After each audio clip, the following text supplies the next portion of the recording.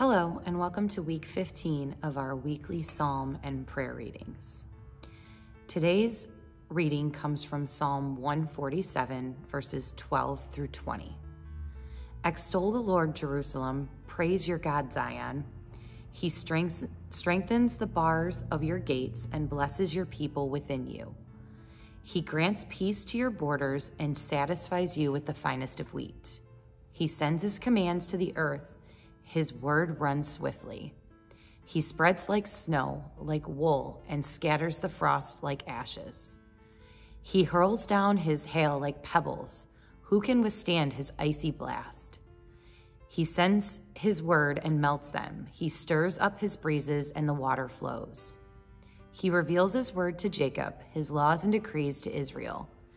He has done this for no other nation. They do not know his laws. Praise the Lord. Let us pray.